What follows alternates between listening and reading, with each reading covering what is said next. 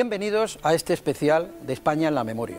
Yo siempre he escuchado, pues desde años A, desde que era muy pequeño, que es importante que hablen de uno. Da lo mismo que se hable bien o que se hable mal.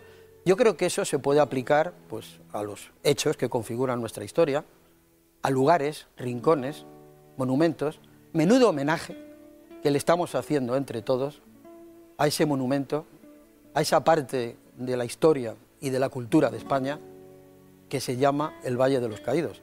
Qué disparate, o sea, qué disparate que haya incluso medios de comunicación que se monten un programa, por supuesto este no es así, para preguntar y consultarles a ustedes qué se hace, si se vuela o no se vuela.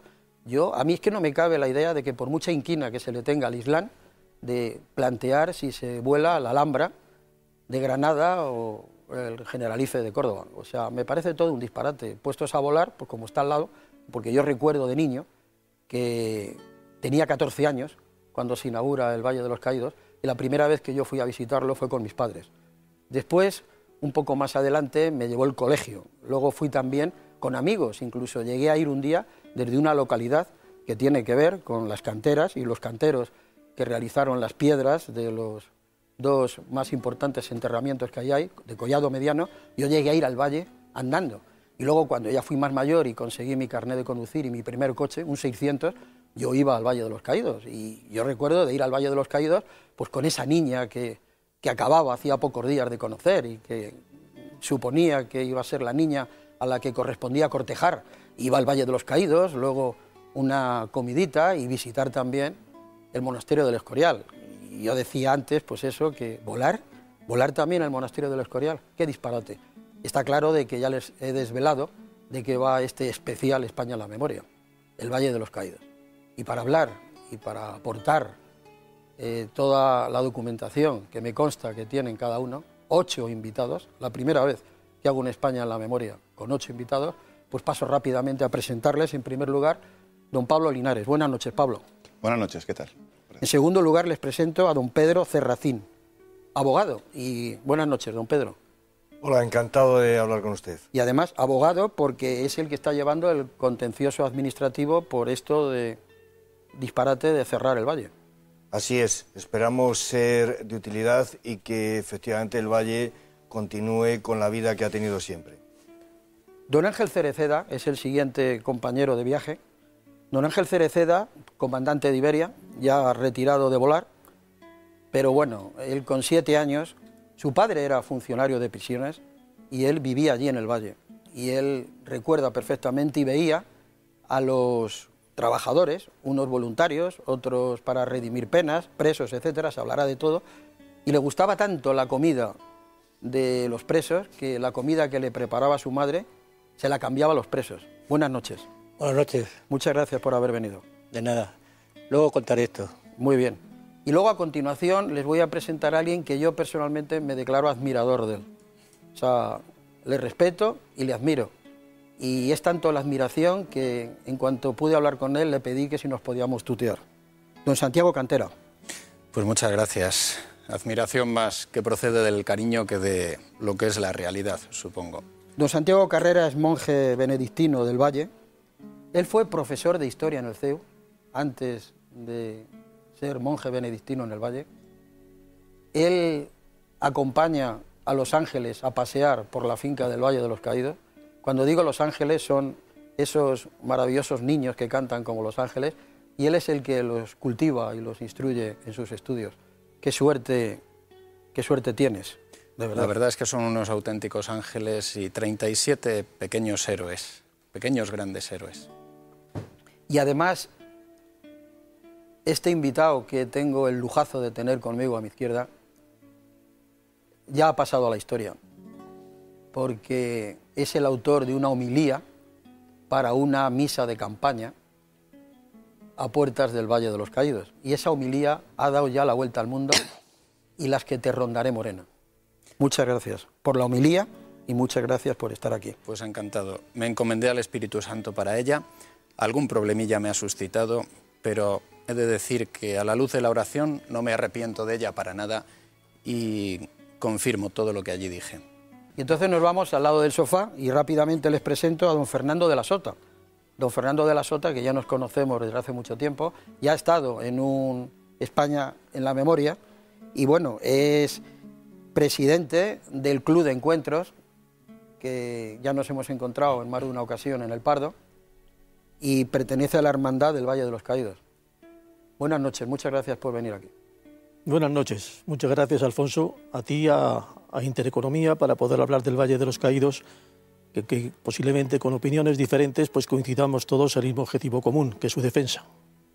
Muy bien, el siguiente invitado es don José Manuel Cabezas Cañabate, doctor en Derecho Canónico. Buenas noches, padre. Buenas noches.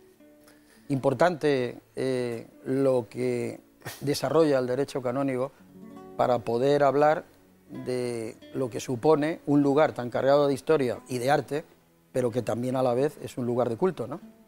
Efectivamente, desde el derecho canónico también pues queremos aportar nuestra ayuda a la defensa del Valle de los Caídos, a la comunidad, la abadía benedictina. Muy bien, y en siguiente, en siguiente lugar les presento pues nuevamente a un licenciado en Derecho, su nombre es Carlos Zarco, pertenece a la Asociación Fe y Trabajo. Buenas noches y muchas gracias también como a los demás. Muchas gracias a vosotros por habernos invitado. Muy bien. Y luego, por último, una persona que sé que lo está llevando muy mal, y me refiero a don Juan de Ábalos. Yo creo que ya el apellido lo dice todo. Su padre es un artista como la copa de un pino, de los más importantes, por no decir el que más, del siglo XX, escultor, y yo no me puedo imaginar qué pensaría tu padre de todo lo que está sucediendo. Alfonso, en primer lugar, muchísimas gracias por darme opción a, a defender eh, dos cosas que son los pilares más importantes quizás de mi vida, eh, independientemente de mi familia, que es la religión y la cultura. Si mi padre estuviera viviendo en estos momentos, lo mismo que durante la historia del Valle, en algún momento se plantó en la puerta del Pardo a hablar con, con Franco, a exigir y a pedir en un momento determinado eh, con su opinión clara de reconciliación del Valle, en este momento es, estaría encadenado en las puertas de la Moncloa. Eso es lo único que te puedo decir. Muy bien. Un día, hace ya muchos años, porque ya no vive, Rafael de Penagos locutó, locutó y, y leyó un texto con unas imágenes, la construcción del Valle de los Caídos. Lo vemos y lo escuchamos. A comienzos de 1940, cuando el general Francisco Franco, después de escalar el cerro del altar mayor y de divisar desde allí el risco de la Nava, decide que este sea el sitio donde hacer realidad su antigua idea, la de levantar un gran templo de acción de gracias por la victoria y un monumento a los caídos de la guerra. Empieza así la historia del Valle de los Caídos y de su construcción, que duraría finalmente 20 largos años. Desde el primer momento de su concepción y por el lugar escogido para su emplazamiento, este grandioso proyecto iba a presentar grandes desafíos y exigir enormes esfuerzos, tanto técnicos y humanos como artísticos y económicos.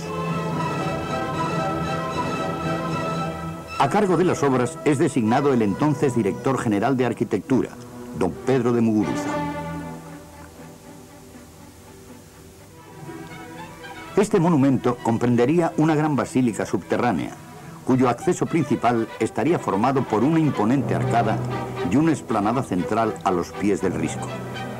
En la parte posterior de este, un gran claustro, a cuyos costados se emplazarían un monasterio, la escolanía y la hospedería. Coronando el risco, una monumental cruz acorde con el paisaje y visible desde muchos kilómetros de distancia.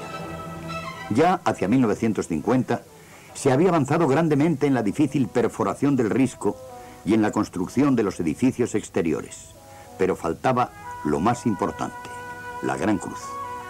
Ese mismo año es aprobado el proyecto definitivo, obra del arquitecto Diego Méndez. Este consistía en una cruz latina de gran simplicidad, de 150 metros de altura, con un fuste de 108 metros y brazos de 46 metros de longitud. La gran extensión de estos, junto con la resistencia de la cúpula del crucero de la basílica, de 44 metros de diámetro, representaron los más complejos problemas técnicos y de ingeniería que fue necesario superar. Una no menos difícil tarea fue la ornamentación y alojamiento interior de la basílica, que exigió conjugar en armónica forma su solemne carácter y profundo significado con una gran rigurosidad estética.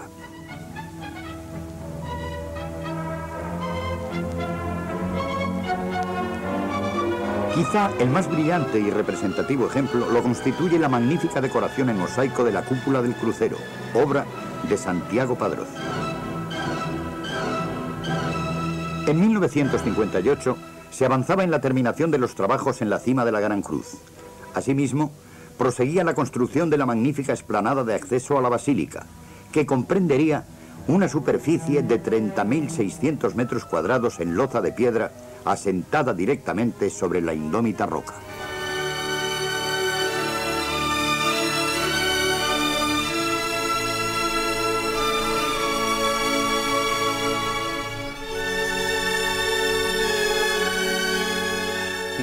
Años de la inauguración del Valle de los Caídos... ...menudo homenaje que se le está haciendo... ...unos porque hablan bien, otros porque hablan mal... ...etcétera, etcétera. Don Fernando de la Sota eh, me está pidiendo la palabra. Fernando, por favor. Bueno, yo creo que para entender el Valle de los Caídos hay que contemplarle en, su triple dimensión, porque tiene dos aspectos distintos y que luego se complementan en uno solo. Por un lado está la parte monumental, que es la parte más llamativa, después la parte religiosa y la parte eh, política. El primer caso, que después imagino que Juan Ábalos nos explique perfectamente todo aquello, pues para mí el Valle de los Caídos es un, es un monumento arquitectónico impresionante, eh, majestuoso, con una serenidad tremenda, y que además pues eso es lo que precisamente eh, concilia perfectamente con las montañas y con los bosques de pinos aquellos y es lo que asombra y lo que admira a todas las personas que lo han, que lo han visitado, como tú bien decías antes, posiblemente llega a millones de toda clase, de todas clases de culturas, religiones, etcétera, etcétera.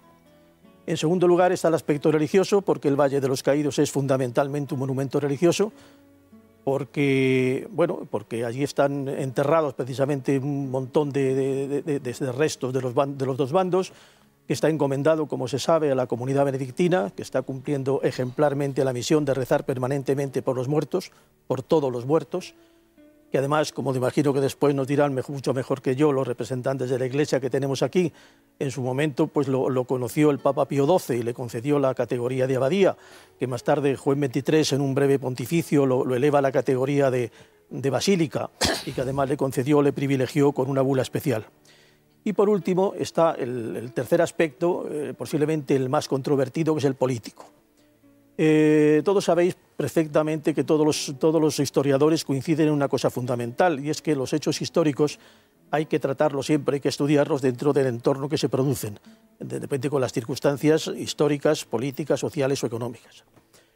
Y el Valle de los Caídos no puede ser una excepción. Entonces, claro, no cabe duda que hay que considerar lo siguiente, y es que en España hubo una guerra, una terrible guerra de tres años, y que como todas las guerras, pues las ganan unos y los pierden otros y normalmente en todos los países donde esto ocurre, pues el ejército, digamos, vencedor, pues siempre erige algún tipo de, recuerdo a esa victoria y a los muertos. Bien, hasta ahí todo, todo parece normal, pero lo fundamental, especial mito y la singularidad del Valle de los Caídos son dos. Primeramente, que aquí hay muy poquitos, muy poquitos signos partidistas se pueden contar con los dedos de la mano y posiblemente sobran dedos. Y en segundo lugar, bueno, que, tiene una cosa, como digo, singular y única, que es que dentro están enterrados los restos de un lado y de otro. Y según parece se, se deduce de los archivos que existen en el valle, pues hay más restos posiblemente de la zona republicana que de la zona nacional. Esto es un caso único, porque fijaros, por ejemplo, que en Estados Unidos, pues resulta que allí no están enterrados los, los muertos, digamos, del norte y del sur de la guerra de secesión, ni aquí tampoco en España están enterrados los carlistas o los liberales, pero en el Valle sí, en el Valle están precisamente los que se enfrentaron en un momento determinado durante tres años, después ahora reposan allí bajo el signo del perdón de la cruz.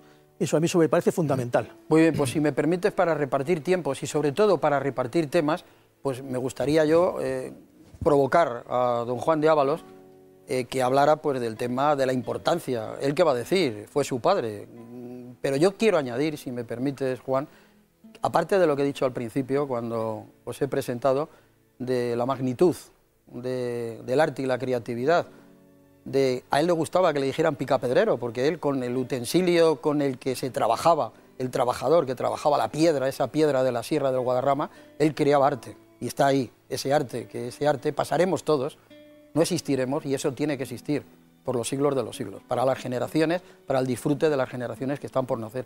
Pero es que, para que nadie tenga ninguna duda, es que eh, el artista, el escultor, eh, tu padre, no era absolutamente nada dudoso. Llegó a exiliarse en Portugal, y bueno, llegó a tener el carné número 7 del Partido Socialista de, de Mérida. Y resulta que, que él consiguió hacer esa obra porque ganó un concurso. Lo podía haber ganado otro.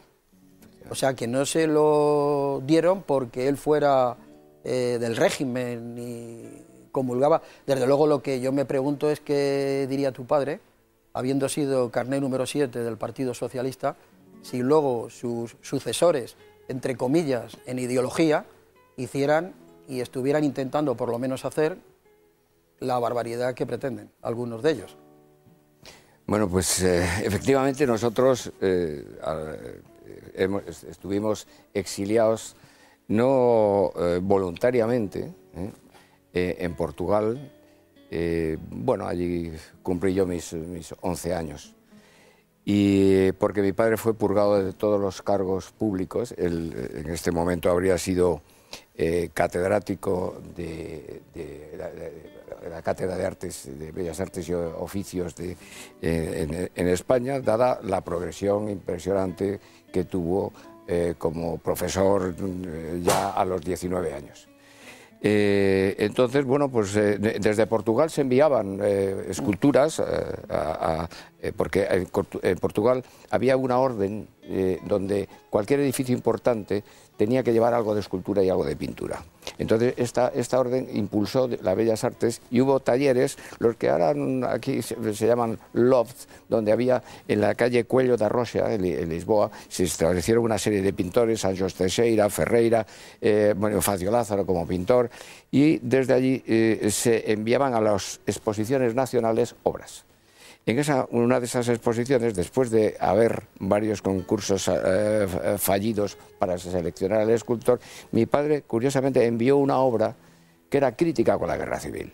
Era El héroe muerto. es un hombre joven que eh, sostiene entre sus brazos al hombre, eh, al amigo herido y muerto en combate.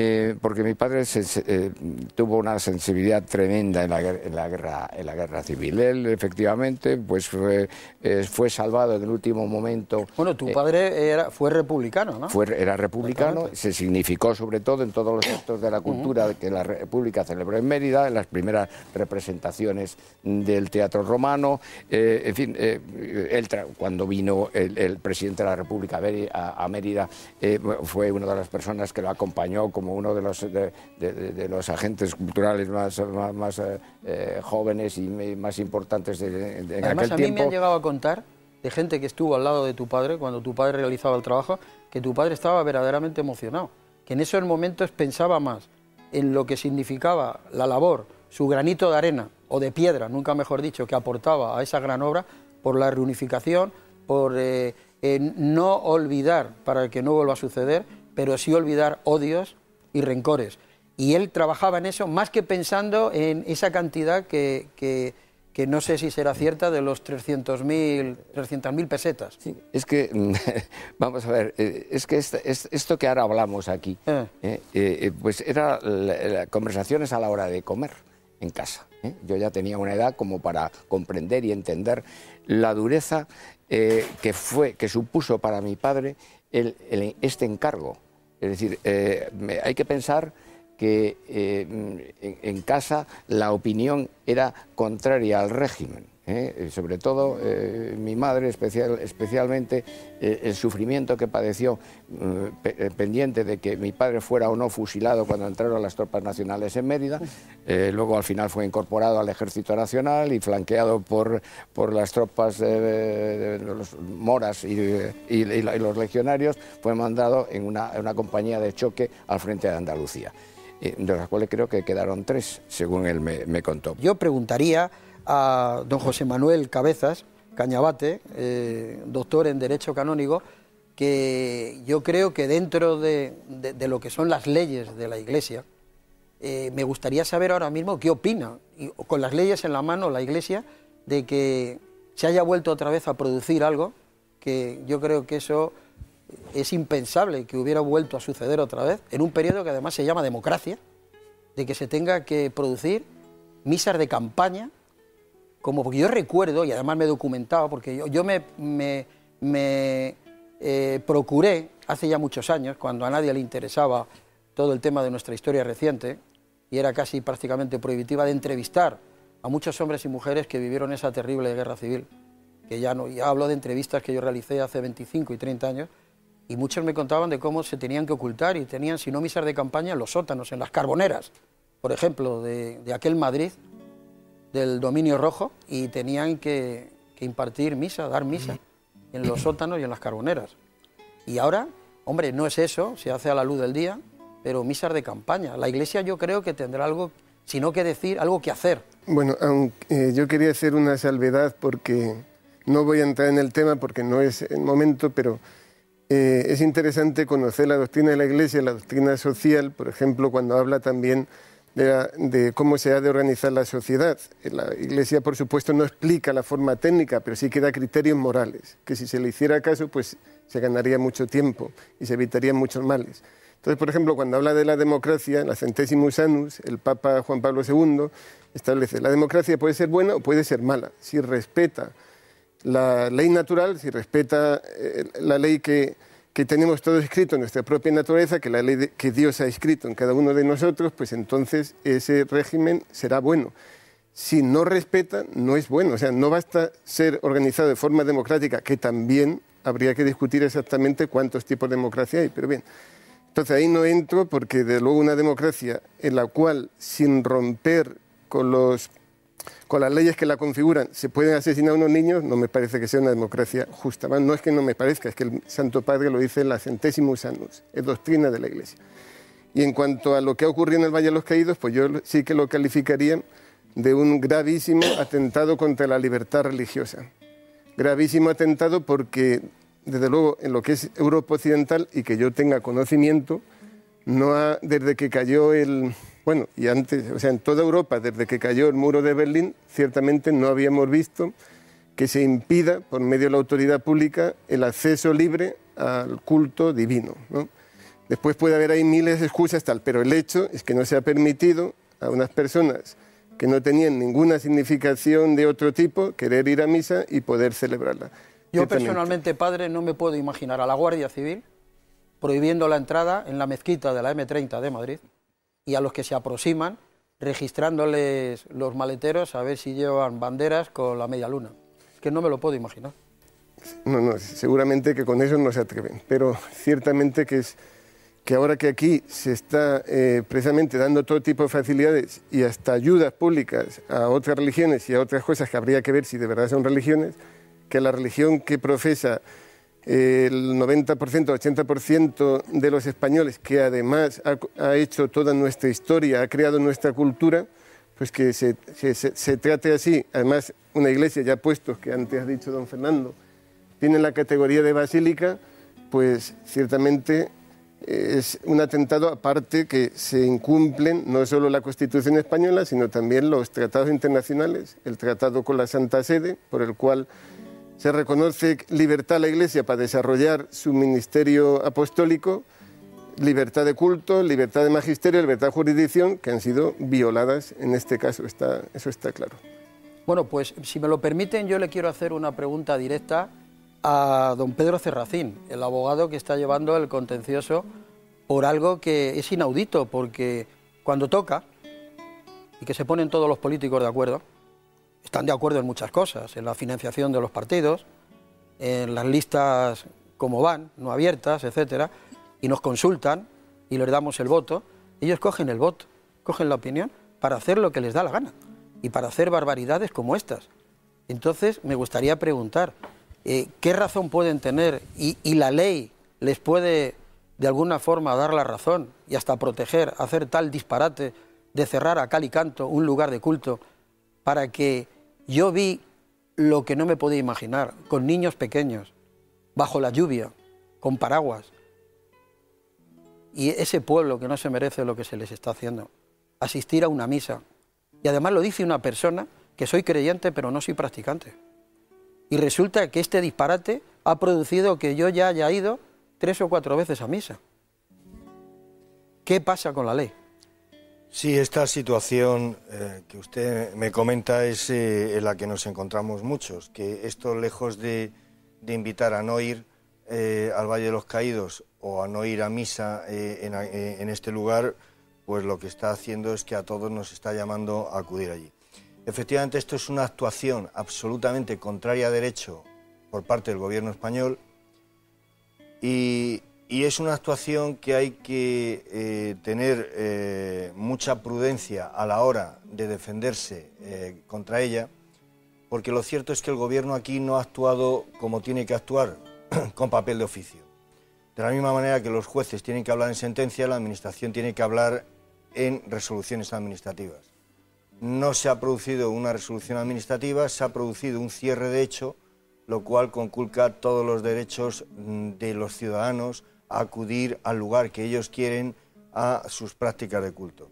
Es evidente que la actuación es ilegal y por eso se interpuso un recurso contencioso administrativo en nombre de la Asociación para la Defensa del Valle de los Caídos y también se ha interpuesto unas medidas cautelares por las cuales el Tribunal Superior de Justicia de Madrid en los próximos días, yo diría que en el plazo de un mes, se va a tener que pronunciar sobre si se ejecuta o no se ejecuta provisionalmente ese cierre, es decir, si van a tener que reabrir el recinto del Valle de los Caídos mientras que se resuelve el procedimiento contencioso que está en trámite en este momento. Bueno, hay rumores, eh, la rumorología de la calle, del pueblo, a través ahora de algo tan novedoso como Internet, y, y se dicen nombres, se barajan nombres. ¿Quién ha sido el iluminado o la iluminada que de repente un día tuvo la idea y dijo, vamos a, con la excusa de que hay peligro, que se puede caer un, un brazo, un- una parte de una escultura, una piedra, vamos a cerrarlo? ¿Quién ha sido? El primero que dijo algo parecido fue eh, Ana Sagasti, eh, que, que habló incluso de dinamitar eh, el Valle de los Caídos. Él, él ha pedido disculpas hace poco, ha dicho que eso fue una metáfora o una cosa así, no... Sí, lo que pasa es que hay metáforas que lo que indican es eh, casi eh, lo, que, eh, lo que tiene en su subconsciente.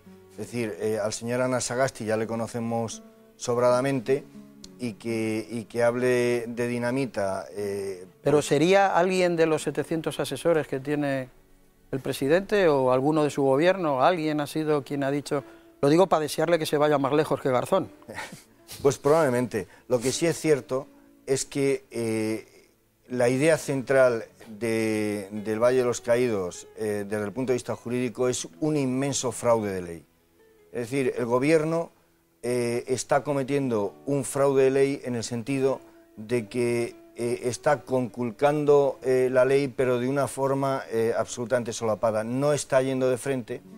El abogado de, de la Asociación para la Defensa del Valle de los Caídos se encuentra con que no hay enemigo, en el sentido de que no hay una resolución administrativa, pero este tipo de comportamientos como el de Ana- Sagasti, estas asociaciones para la, para, eh, la memoria histórica, Un- una, una pregunta y una respuesta muy rápida que me indican Sí. que tengo que pasar, dar paso a una pieza. Eh, ¿Qué hay de eso que fue con nocturnidad y alevosía el ir allí sin una orden judicial a husmear entre los restos de esos pobres desgraciados? Me da lo mismo de un bando que el otro que les tocó. hay odio y hay arbitrariedad. Y contra ese odio y esa arbitrariedad... Pero eso se puede utilizar para ya aclarar de una vez por todas que aquí hay una manipulación política, ¿no? Evidentemente. Jurídicamente hablando. Todo es una manipulación política y todo es contrario a derecho. Esperemos que al final lo podamos Bueno, acreditar pues así. con el permiso de todos nos vamos a ver las imágenes y cómo se desarrolló la noticia de aquel 1 de abril de 1959, la inauguración. Lo vemos y lo escuchamos. En el vigésimo aniversario de la victoria nacional se inaugura la gran Basílica de la Santa Cruz del Valle de los Caídos, que como se afirmó en el decreto fundacional tiene la grandeza de los monumentos antiguos que pueden desafiar al tiempo y al olvido, y constituye lugar de meditación, de estudio y de reposo en que las generaciones futuras rindan tributo de admiración a los que les legaron una España mejor. Ante la inmensa representación de toda España, llega su excelencia el jefe del Estado que se dirige a la entrada de la cripta. Es recibido, así como su esposa, por la comunidad benedictina encargada del mantenimiento del culto en el valle, a cuyo frente figura el abad mitrado Fray Justo Pérez de Urbel.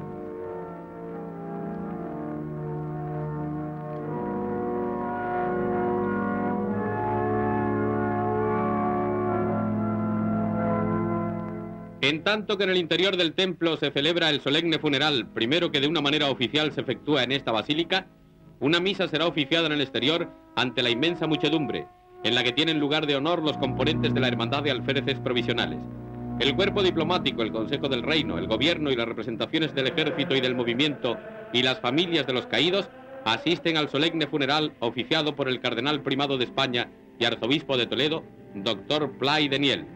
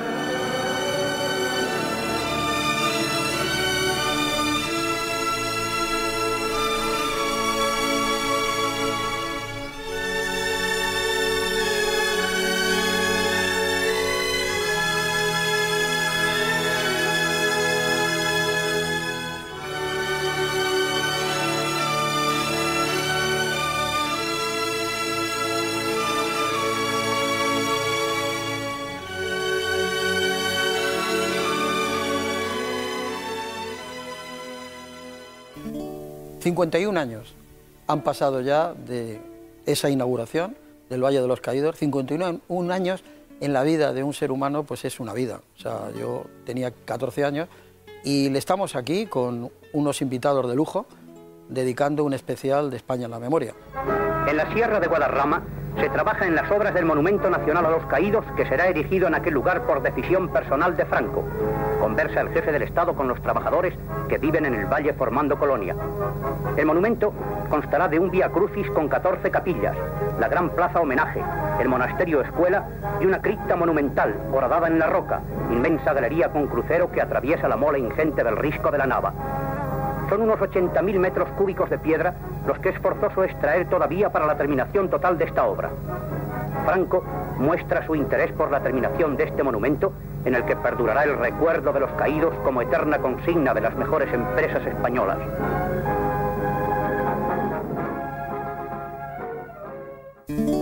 El 1 de abril de 1959, presidido por el anterior jefe del Estado, el general Franco, se inauguraba este lugar, el Valle de los Caídos.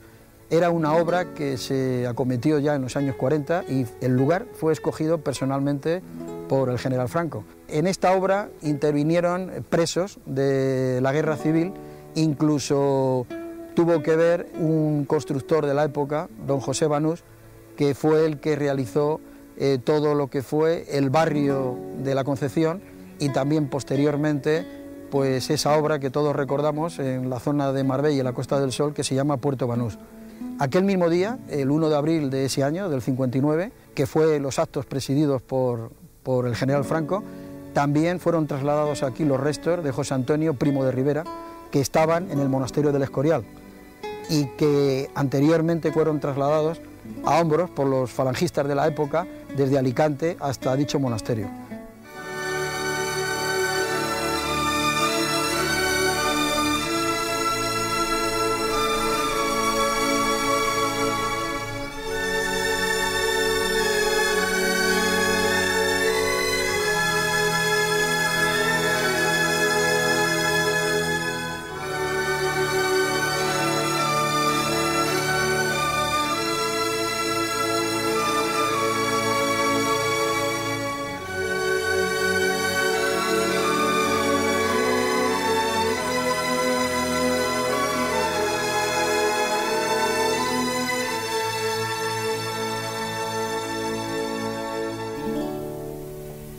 Qué nombre más bonito, el Risco de la Nava.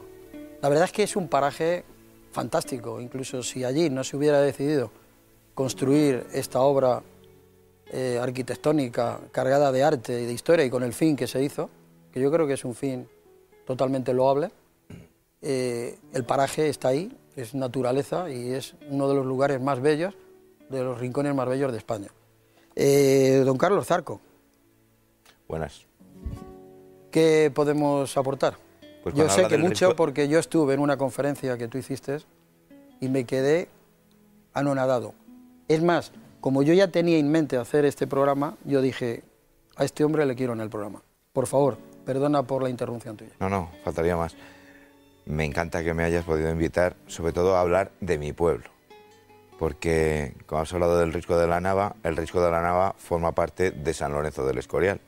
Y en San Lorenzo del Escorial hemos visto en el vídeo que nos has mostrado hace un momento eh, el entierro de José Antonio Prima de Rivera y ahí se unen en estos dos sitios en la misma población San Lorenzo del Escorial. Le trasladan desde el monasterio de San Lorenzo del Escorial al Valle de los Caídos. Y es importantísimo ¿eh? destacar que en una población de escasamente 20.000 habitantes tenga dos monumentos tan fundamentales para la historia de España como puede ser el monasterio de Escorial en el siglo XVI y el Valle de los Caídos que marca lo que es el monumento más importante del siglo XX en, España.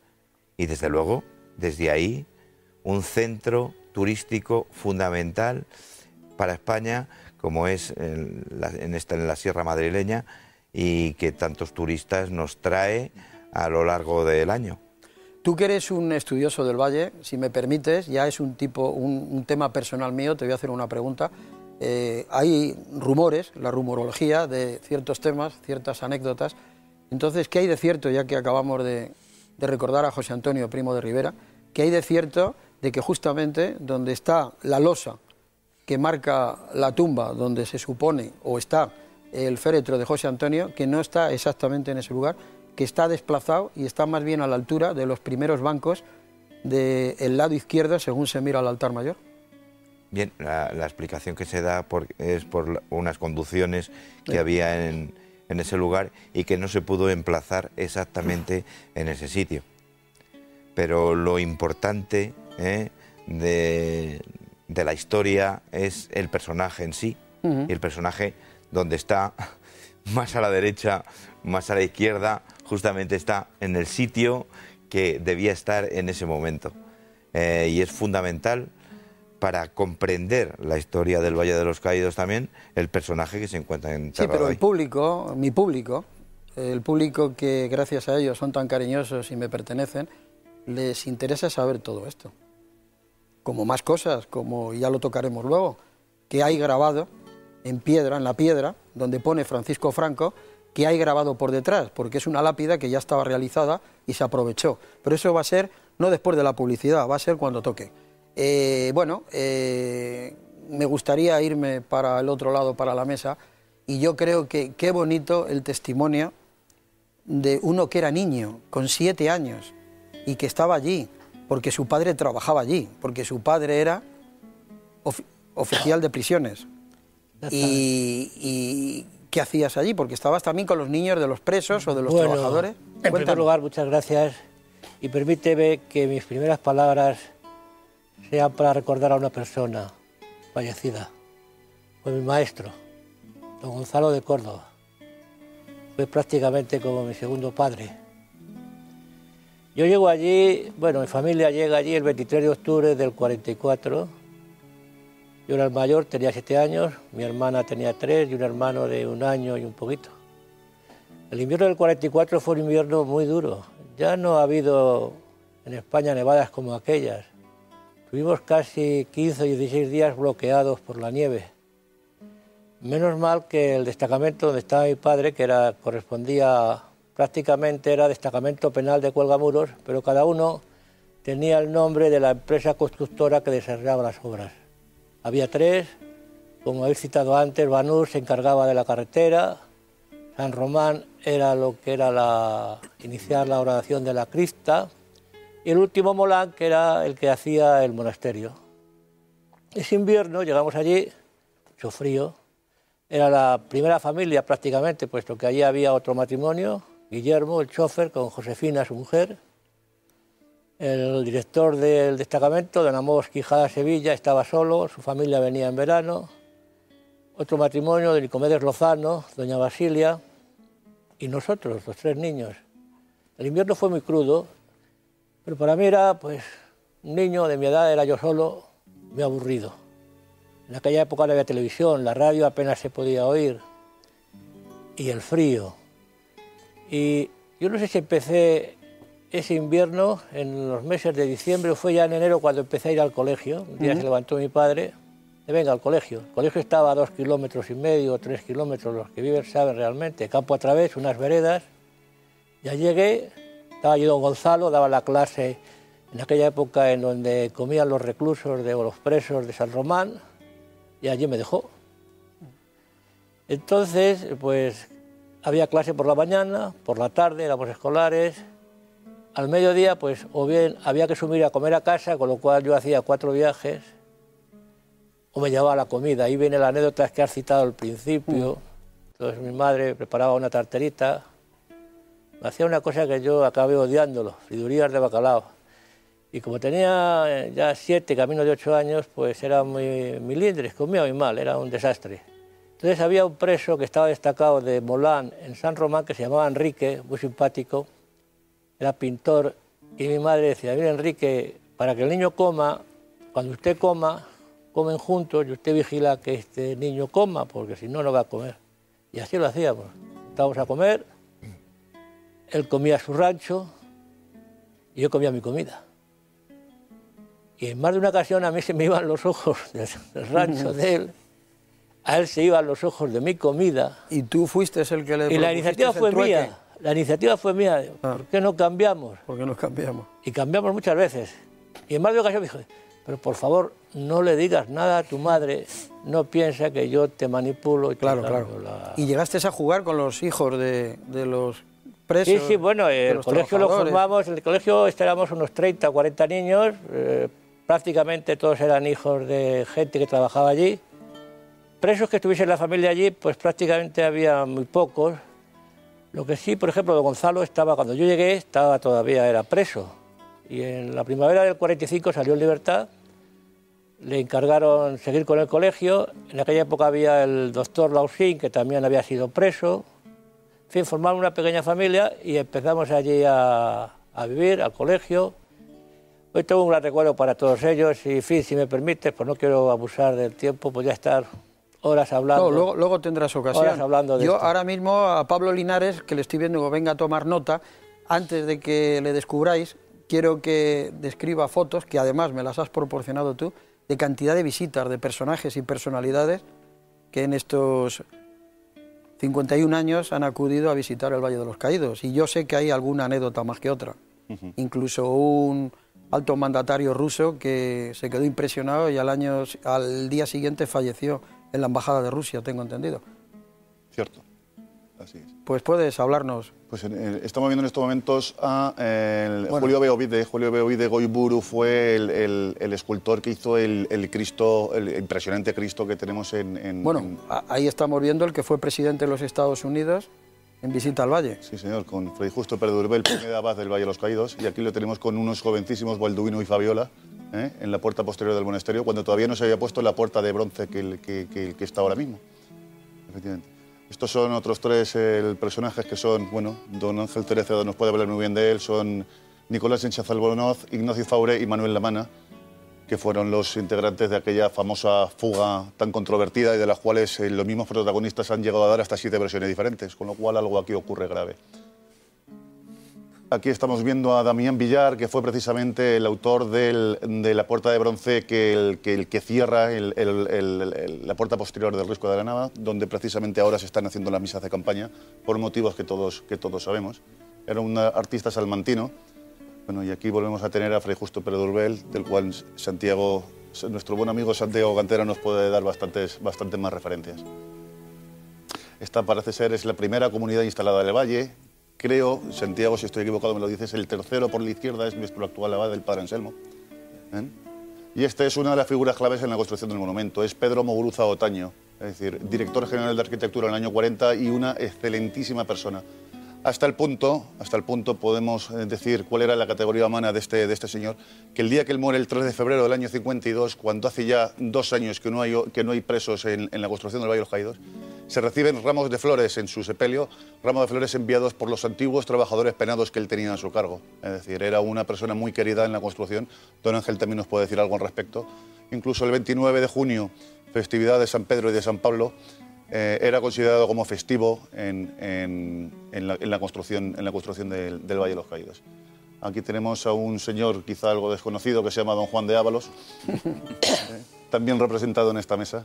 Y aquí tenemos una foto que a mí me parece que es preciosa, que es la estructura en armazón de la piedad definitiva que se terminó haciendo en el Valle de los Caídos y esta otra piedad que fue desechada, que llegó a estar incluso eh, en, en- en- en su ubicación y que alguien que tenía mucho mando en plaza pues no pareció gustarle en condiciones.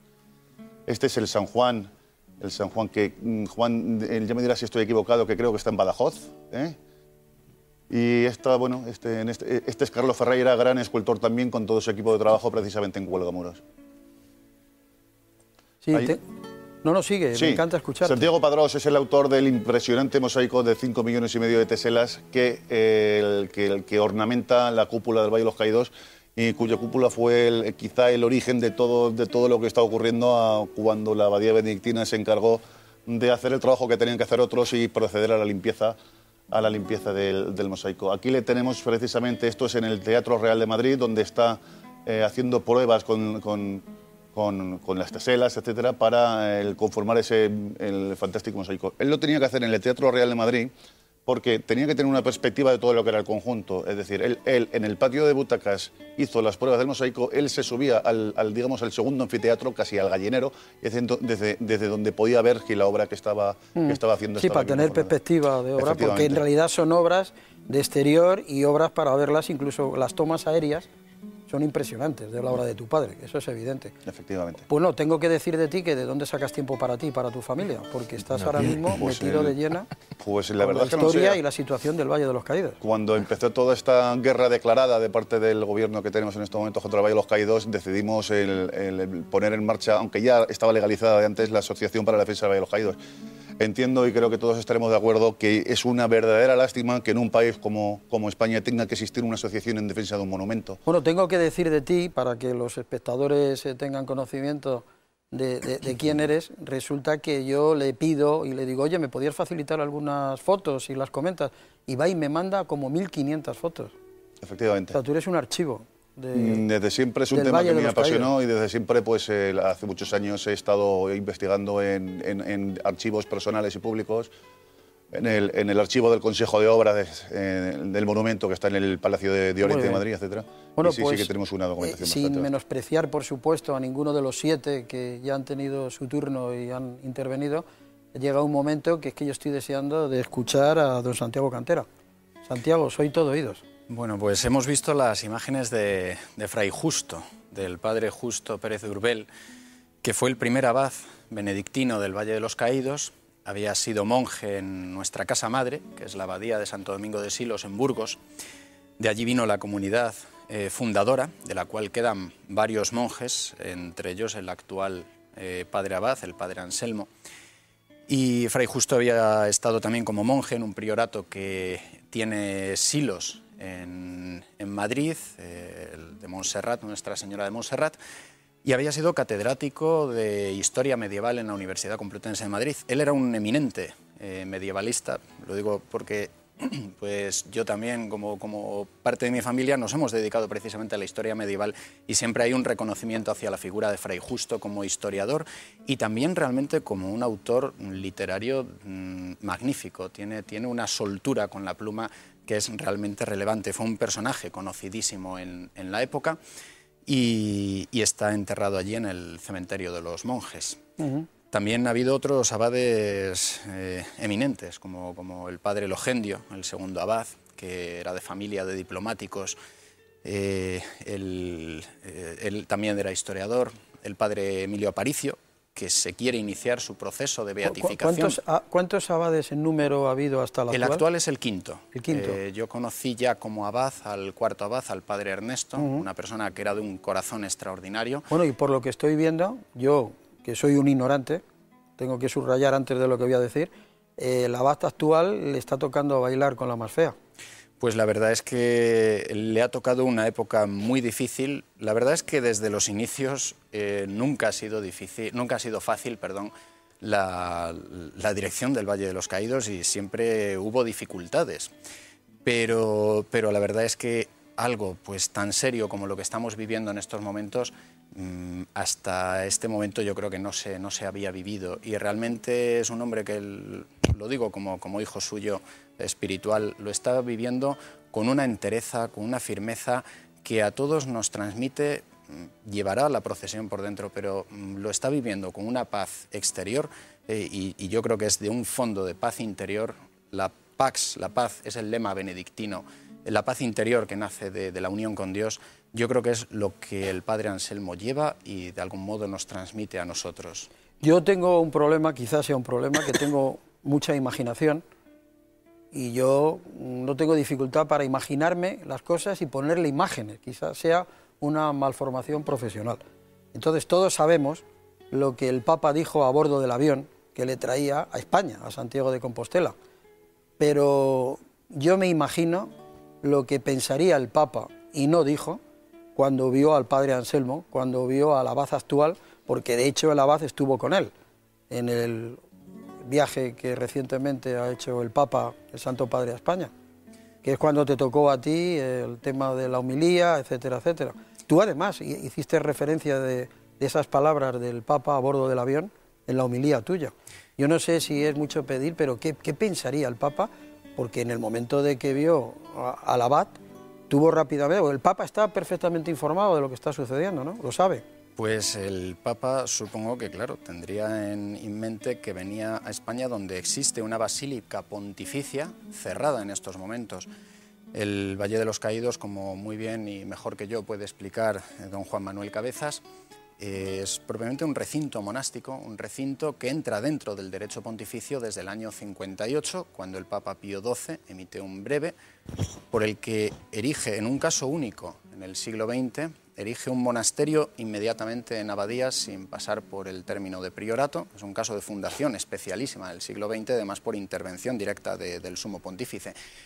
Y en el año 60, el beato Juan XXIII, eh, este papa que, que, mm, es tan querido por, por la generalidad de, de las personas, el papa Juan XXIII dio otro documento por el que erigió la iglesia abacial en eh, Basílica Menor. Hay cuatro basílicas mayores en Roma y eh, todo el resto de las basílicas, tanto de Roma como del resto del mundo, son basílicas menores. Por lo tanto, el Valle de los Caídos entra dentro del derecho pontificio y el Papa, lógicamente, en esa frase que dijo tan poco, pero dijo tanto, en tan pocas palabras dijo tanto, pues evidentemente tenía que llevar también en la cabeza este aspecto de que se ha cerrado una iglesia al culto a los fieles. En este momento solo estamos bajando a diario los monjes y, y el coro de los niños, la escolanía, por la que tengo eh, pues una debilidad especial, un, un afecto que no es para profundo. menos. Estamos viendo documentos. Documentos hay en cantidad sobre el Valle de los Caídos. Y bueno, eh, tú no te imaginas, Santiago, la que me has liado. Porque tú sabes que yo soy muy mal practicante. Y tú has provocado que yo empiece a ir a misa. Pues bendito seas eh, Dios si, es así, ¿no? Y sé de más personas que, así ha sido. Con motivo de, la homilía, de la que no quiero hacer valoraciones que, me pudieran venir de la vanidad, pero sí he recibido mm, eh, muchos correos electrónicos, muchas cartas, llamadas telefónicas, eh, mensajes de personas que me decían, me ha resucitado la fe, me ha devuelto la esperanza. Usted, no digo, no yo. Yo fui en ese momento el instrumento que, que- que tocaba para Además, si me que permites- Dios puso y, si me y que se valió, se valió quizá del más pobre y del más insensato a lo mejor que dijo las verdades como las pensaba y, y quizá pues cuando se dice la verdad cuando se dice lo que se siente del- desde el corazón y Sí. además mm, Hay que ser desde la luz no de la que- oración también pues yo veo que las personas es lo que están buscando los fieles es lo que están buscando Mm. un mensaje eh, que ellos están deseando oír y muchas personas apartadas de la fe, efectivamente, o que tenían la fe letargada, en estos momentos se les está reavivando la fe. Desde luego, con personas como tú no se puede hablar de que la Iglesia está en crisis. y Bueno, te pues- tengo que decir que si desde luego lo que estás haciendo, consciente o inconscientemente, es para ir al cielo, tú ya estás en el cielo. No, Porque en el estar, cielo no estar estoy. con esos niños que te ha tocado dirigir y pasear los sábados por la tarde, eso es estar en el cielo. La verdad es que la santidad es a lo que tenemos que aspirar todos, no la santidad mm, a los ojos de los hombres, sino la santidad a los ojos de Dios y muchas veces una santidad oculta. Yo la verdad que esta fama mm, en sí mismo no la quería. Mm, Cuando uno se retira a un monasterio, aunque tuviera ya fama anterior y esa fama le va colgando, eh, pero no desea esa fama, esa fama ha sobrevenido. Eh, pero la santidad es la meta que tenemos que buscar todos y la salvación eterna. Y en cuanto a los niños, pues la verdad que a mí me ha emocionado cómo están viviendo estos días, esta, esta situación. Eh, el- quisiera dar dos o tres notas de, de todo el Mm. prestigio nacional e internacional de la escolanía en los 52 años que lleva, Por porque la escolanía, igual que el monasterio, eh, nació un poco antes de que nosotros. La escolanía ha realizado más de 30 grabaciones. Se fundó, eh, nació el día 11 de, de noviembre del año 58, el día de San Martín. Ha hecho ahora eh, un- uno de los aniversarios. Eh, ha tenido niños aproximadamente de 9 a 14 años, tiene de procedentes de toda España, fundamentalmente hoy día de Castilla-La Mancha y también Madrid, algunos de Castilla-La Vieja, Castilla-León y reciben allí la formación académica, musical y la formación espiritual. Son niños que tienen una vida espiritual muy intensa.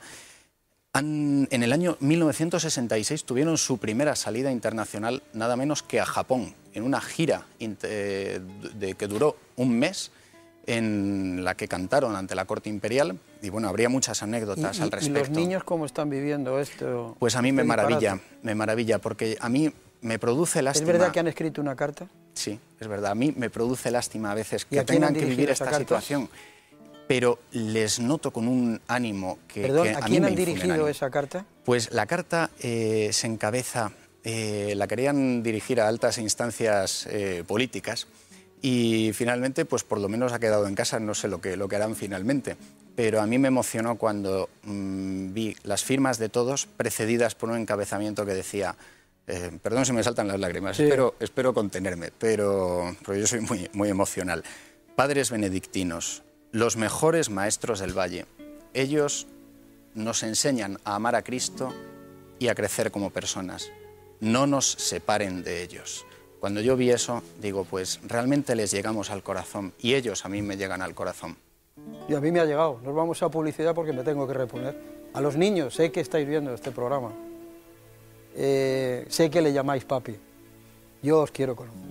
Seguimos con este especial del Valle de los Caídos y volvemos otra vez a escuchar esa voz de Rafael de Penagos con otra entrega de esa historia de este valle.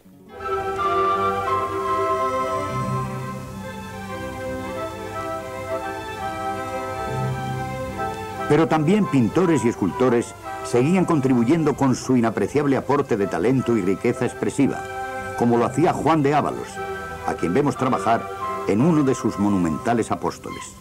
Esculturas que irían emplazadas en la base de la cruz. Finalmente, en el año 1959, quedan terminadas todas las obras, y así, el general Francisco Franco vio hecha realidad su grandiosa idea. El día primero de abril de este mismo año, el monumento es inaugurado con una solemne ceremonia. Pero vamos a lo que el valle es ahora. Lo primero que el visitante encuentra es una enorme y hermosa puerta de reja coronada por un escudo. Es el escudo del valle. En él distinguimos una cruz, a sus pies el escudo nacional, un águila y dos escudos laterales. El de la izquierda es el de caudillo, del general Franco. El de la derecha es de la Orden de San Benito. Nos adentramos ahora en un zigzagueante camino orlado de hermosos pinos. En un recodo nos encontramos con cuatro extrañas columnas de piedra. Son los Juanelos, de finales del siglo XVI, y se cuenta que fueron tallados para servir de basamentos de un palacio que construiría el ingeniero Juanelo Turriano sobre las aguas del río Tajo en Aranjuez. En la cima del risco del altar mayor se encuentra una de las más hermosas estaciones del Via Crucis. Es la capilla dedicada a la Virgen, desde la cual es posible apreciar una singular vista del valle y sus alrededores.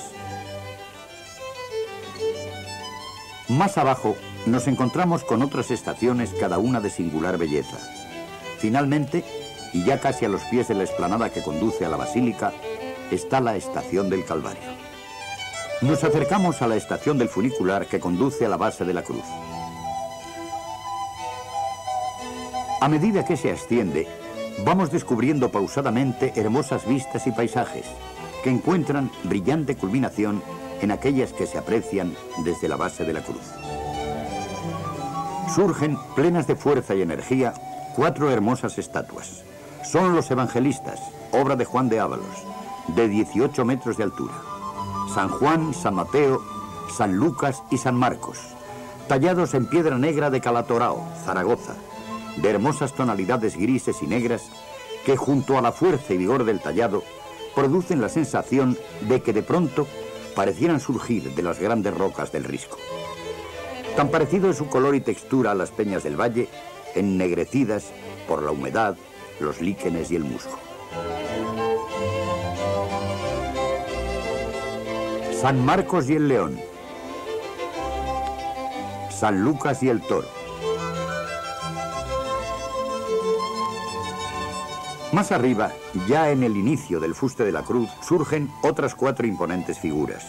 Son las cuatro virtudes cardinales, la justicia y la prudencia, la fortaleza y la templanza, como si desde ahí quisieran mostrar el camino de la perfección y santidad necesarios para alcanzar el reino de Dios. Son igualmente obra de Juan de Ábalos y talladas en la misma piedra negra de los evangelistas. Cada una mide 16 metros de altura. Bueno, para los de mente retorcida, tengo que decir que esto que acabamos de ver y escuchar es un corte de un trabajo que hizo Rafael de Penagos en la etapa anterior, históricamente hablando. Por eso ha dicho y ha mencionado el escudo nacional, que ahora es otro, y habla del caudillo que fue el anterior jefe del Estado. Ahora también es otro, es Juan Carlos I, rey de España. Y está claro, eh, ha quedado claro, para los de las mentes retorcidas, que te estás riendo. Todo tuyo.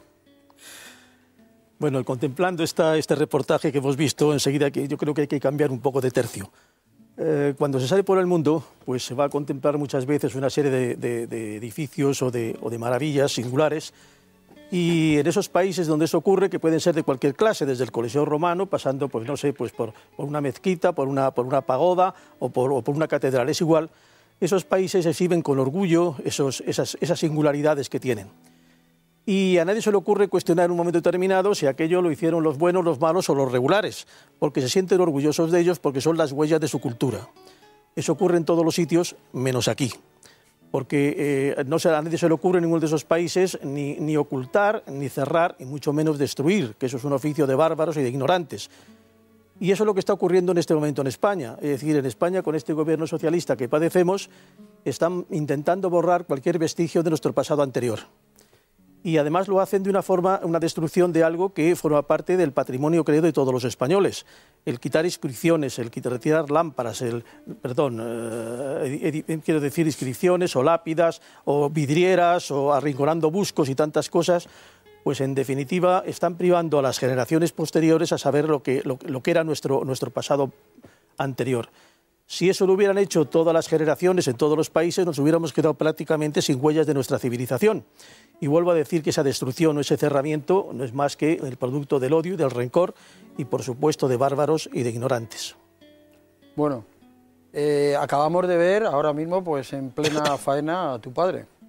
Sí. Y, y yo me imagino que tú tendrás recuerdos de niño y habrás escuchado a tu padre qué opina de esta obra suya, porque yo creo posiblemente y probablemente con la cantidad de obra que tiene tu padre repartida por los cinco continentes, ¿era posiblemente de la que estaba él más satisfecho? Bueno, mm, pues eh, mi, mi padre, sin embargo, mm, eh, amaba más a otras obras, es decir, a otras obras más íntimas y eh, que es- pudieran expresar con más delicadeza esa sensibilidad que tenía él para los volúmenes y para las texturas. Eh, el Valle eh, era su máxima expresión de fuerza, digamos. eh, pero los amantes de Teruel, por ejemplo, para él era, o el Cristo yacente que está en la Almudena, eran obras donde quizás mm, se encontraba con ellas más a gusto. Para él, desde luego, el Valle fue algo muy importante desde el punto de vista de que primero él estaba absolutamente convencido de que estaba colaborando en la reconciliación de los españoles que así defendió. Mi padre se opuso totalmente a que, y ese fue uno de los enfrentamientos que tuvo durante la ejecución de las obras, eh, a que los relieves que se iban a colocar dentro o bien en el, eh, representaran eh, batallas mm, de, nuestra, de nuestra guerra civil. Entonces, él mm, insistió muchísimo, llegó al enfrentamiento total en un momento determinado para decir que, que él lo que pensaba es que aquello tenía que ser un monumento a la reconciliación porque la supervivencia, pensaba, de su obra estaba ahí, en conseguir llevar la reconciliación a todos los españoles.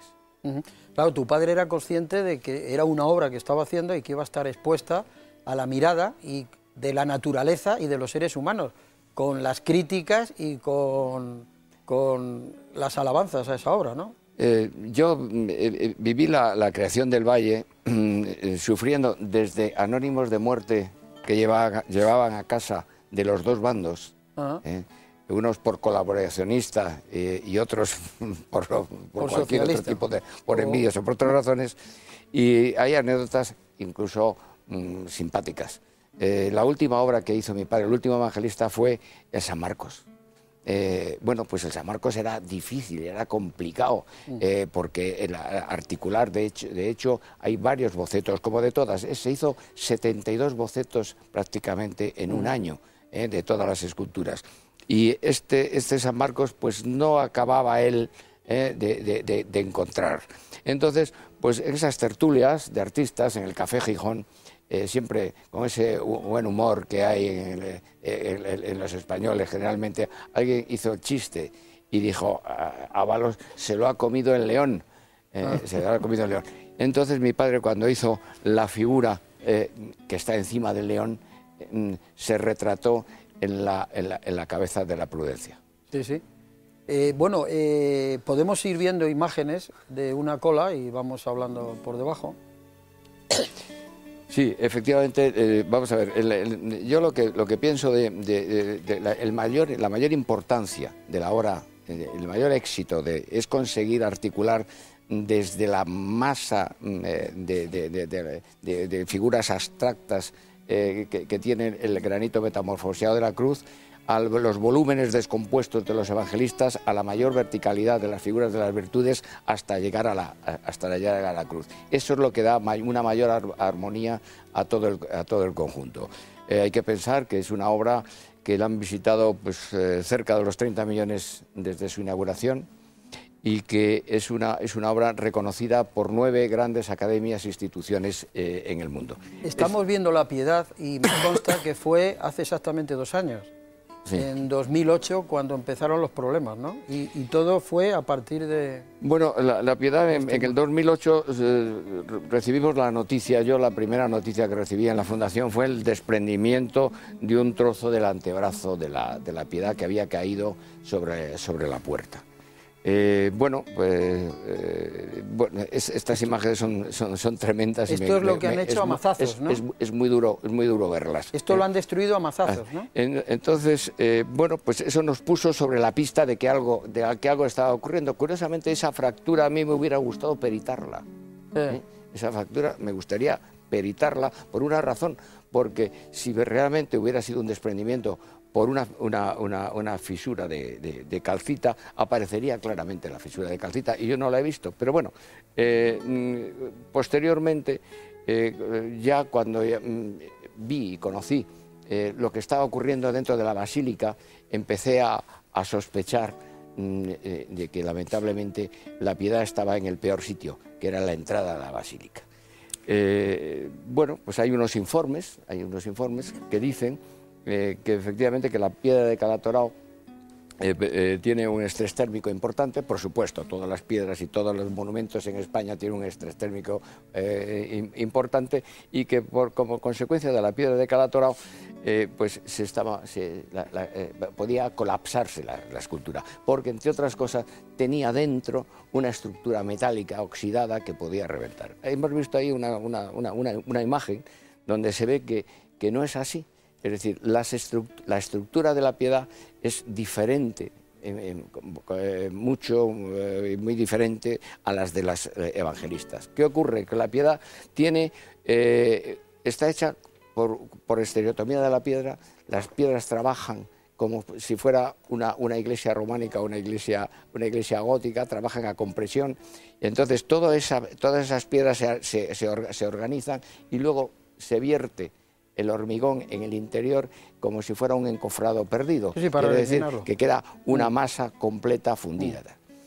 Pues eh, eh, estos eh, señores que no se dejaron aconsejar, Pues si me pues, permite voy a ir siguiendo el turno. iniciaron ese- esa rotura, esa rotura de la espalda, Mm. que es el sitio más delicado por donde ahora le puede entrar Sí, es una imagen horrorosa y, Horrorosa, y triste. horrorosa. Don Juan Manuel Cabezas, me gustaría preguntar, no sé si es correcta la pregunta, con la ley de Dios aquí en la tierra, en la mano, ¿qué se puede hacer para proteger un lugar de culto y que es un lugar con todo pleno derecho, me imagino yo, de los fieles para poder realizar ese culto, cuando les venga en gana? Yo voy a intentar rápidamente decir dos o tres, digamos, posibles iniciativas que de hecho sé que se están haciendo porque cuando usted ha dicho antes cuál es el papel de la Iglesia, ciertamente yo sé que la Iglesia está actuando, que está intentando llegar a una solución, pero claro, eh, es lo que ocurre aquí, que antes nos han apuntado desde el punto de vista jurídico, es, eh, es que hay como un ataque doble ¿no? al valle. O sea, jurídicamente, con la ley en la mano, está clarísimo dónde está la verdad, que está en la abadía benedictina, que tiene que está reconocida por todos los tratados internacionales, también tiene suscrito España en los acuerdos con la Santa Sede, por lo tanto es un lugar inviolable, así lo dice el artículo 1 de las- del acuerdo sobre asuntos jurídicos entre la Santa Sede y el, Estado, español, pero es que lo reconocen eso prácticamente, iba a decir, hasta en, el África Negra, vamos, que es un lugar de culto es inviolable. Y que, eso y que la autoridad dentro del lugar de culto pertenece la iglesia y que se ha de respetar. Por lo tanto, ¿quién determina el horario de entrada, de salida, eh, a qué hora es la misa o a qué hora está abierta para que los fieles puedan rezar? Es el, el- el abad del Valle de los Caídos, que además es ordinario, o sea, es, eh, desde el punto de vista canónico está equiparado a un obispo, o sea, tiene la autoridad dentro de ese monasterio y de todos los que estén allí accidentalmente o que pertenezcan allí porque viven, porque son demandaderos por lo que, el oficio que tengan, es, es el abad. Por lo tanto, no solo es, eh, es una autoridad eclesiástica, pero además de, de- de un rango, eh, digamos, superior. Por lo tanto, es una ofensa grave. Pero claro, yo aquí mm, quiero decir que por eso me parece interesante las aportaciones que hagan también los demás. O sea, jurídicamente es una cosa, pero claro, ellos no hay dónde está escrito que se cierre, no está escrito. O sea, es una actitud muy civilina, pero muy, digamos, muy cobarde, pero eh, ahí está el problema, ¿no? ¿Cómo eh, consigues demostrar esto jurídicamente? Hombre, por los hechos, porque hay un notario y ha demostrado que tal Yo- y hay una orden. Permítame, pero yo es que soy, vuelvo a decirlo, a lo mejor es una barbaridad lo que voy a decir, pero yo tengo entendido, creo, vamos, que Jesucristo es la iglesia, ¿no? Y Jesucristo, cuando se reencarnó en hombre aquí en la tierra, llegó a coger el látigo y fustigó, fustigó a todos los que estaban invadiendo el templo, que lo habían tomado como si fuera un mercado, ¿no? Y quizás a lo mejor ahora es la inversa, a lo mejor hay que fustigar a los que sin razón de ser precintan y prohíben. la Iglesia Porque yo diría prohibido prohibir, ya está bien. ¿Qué democracia es esta? La Iglesia lo que hace es recurre a todos los medios le- legítimos, lícitos. De hecho, la abadía está también actuando jurídicamente, ha presentado sus informes, ha presentado sus demandas. Cuando ya de buena fe se ve que es imposible el diálogo. Y, en fin, o sea, es un acto que está clarísimamente que viola todos los tratados internacionales, porque ya no le cito lo que dice el derecho canónico, que es que lo dice, sino que el Estado español reconoce que la Iglesia se rige por sus propias leyes y además las aprueba. Y un, estado, un tratado internacional que tiene suscrito con la Santa Sede está por encima de las mismas leyes nacionales, aparte que la Constitución española reconoce esa libertad a la Iglesia de organización. Muy bien, nos tenemos que ir a publicidad, pero algo muy cortito. Pablo Linares, sé que, que tienen muchas cosas que decir. Una de ellas, muy cortito, por favor. Una- muy cortito. Estamos, eh, no quiero salir del hilo, pero creo que sería también necesario incidir en todos aquellos mitos que desde siempre han rodeado la construcción del Valle de los Caídos y que tenemos que intentar solucionar, lo que es lo de los presos políticos, los muertos en la construcción, etcétera. Está todo absolutamente, y repito, absolutamente documentado que no fue como nos lo quieren hacer ver desde siempre. Muy bien, nos vamos a ir a publicidad, pero pasando por, por una pieza. Yo diría la canción aquella que, que nos acompañó a muchos, yo la recuerdo de niño, están clavadas dos cruces en el monte del olvido. Vamos a suponer que el monte eh, que nos ocupa hoy es el, monte del olvido, pero olvidar eh, relativamente. Lo malo no hay que olvidarlo para que no vuelva a suceder. Lo que hay que olvidar, eso lo tengo clarísimo, es el odio, el rencor, la envidia, todo eso que fomenta una guerra civil, una guerra entre hermanos. Y están clavadas dos cruces, porque está la de 150 metros de piedra y está la interior, una belleza eh, esculpida en madera de una sola pieza. Y qué curioso, qué casualidad, qué maravilla, cómo me gusta el país vasco, antes vascongadas, los vascos. Eh, Yo tengo sangre vasca, mi padre era vasco. Dos vascos hicieron las dos cruces, la de piedra de 150 metros y la esculpida en madera del interior y que preside el altar mayor. Lo vemos y lo escuchamos. Nos dirigimos ahora al interior de la cruz.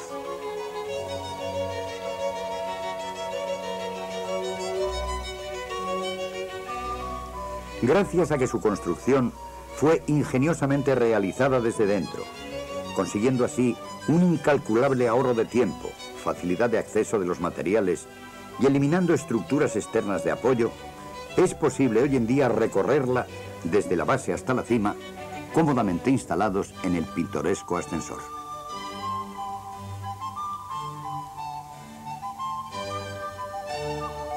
Hemos llegado a la parada desde donde surgen los brazos de la cruz. Comprendemos en su real dimensión el enorme esfuerzo de construcción que sus 46 metros de longitud significaron.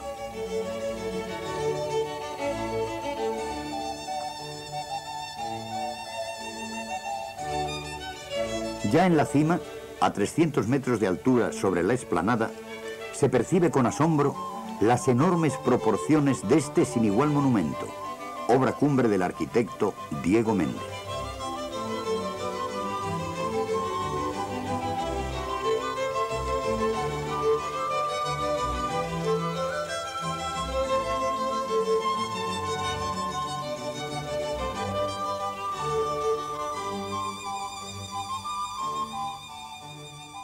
Vamos a ver y escuchar un corte sobre el interior, la hospedería y la escolanía. Yo ardo en deseos de estar con los niños, de poder hablar con ellos e incluso mm, yo creo que voy a dedicar a unos días a escucharles. En la vertiente norte del Risco distinguimos ahora el gran claustro posterior. En uno de sus costados se encuentra la abadía de los benedictinos. Sus monjes son, se podría decir, no solo el alma, sino también el cuerpo del valle. Desarrollan en él múltiples tareas. Son los encargados del culto y de dirigir la escolanía. Organizan tandas de ejercicios espirituales y se encargan de la administración y mantenimiento de la hospedería. Editan diversas publicaciones de liturgia, música y ciencias eclesiásticas y un boletín trimestral con las diversas actividades de la comunidad. Vemos aquí algunos aspectos de su simple y hermosa capilla, donde destaca su sillería de nogal, con escenas de la vida de San Benito, quien preside además el altar. Sin duda cumplen brillantemente con el lema de la orden, ora et labora. Junto a la abadía encontramos la escolanía, lugar donde 50 niños de edades comprendidas entre los 9 y los 14 años aprenden, además de su educación general básica, el arte del canto gregoriano y el polifónico. Se distinguen por sus hermosas voces blancas y son rigurosamente seleccionados por los monjes entre cientos de candidatos de todas las provincias cercanas. Por una hermosa puerta decorada con bajorrelieves en bronce, con motivos del Apocalipsis, se da acceso a la entrada posterior al templo. El escudo del valle corona el vestíbulo, desde donde nace el túnel que comunica al monasterio con la basílica. Acotando este claustro por su lado posterior está situada la Hospedería del Valle. En sus edificios tiene su sede el Centro de Estudios Sociales. Un lugar pleno de tranquilidad y paz, alberga con comodidad a estudiosos, peregrinos y visitantes. Destacan en ella su salón de actos, donde habitualmente se realizan conferencias y coloquios, y la magnífica biblioteca que contiene cerca de 20.000 volúmenes. En la primera planta se sitúan los llamados salones del obispo, conjunto de elegantes habitaciones que se emplean para alojar a visitantes ilustres. La capilla con su hermoso altar barroco dorado al fuego. Conocido es también entre sus huéspedes este confortable salón, lugar de interesantes conversaciones y tertulias cuando cae la tarde. Un amplio comedor presidido por un imponente óleo de San Benito. La hospedería forma un conjunto de edificios de estilo herreriano en hermosa piedra amarilla, donde todo está diseñado para una vida tranquila, cómoda y solemne, tan difícil de encontrar hoy en día. Bueno, pues yo necesito preguntarle a- al abogado que está llevando todo el tema de lo contencioso. a- eh, eh, se supone, por lógica y porque me imagino que no me cabe la menor duda, que nos funciona a todos muy bien la lógica de los que estamos aquí hoy, eh, está en buenas vías, o sea, al final habrá final feliz. Yo espero que sí.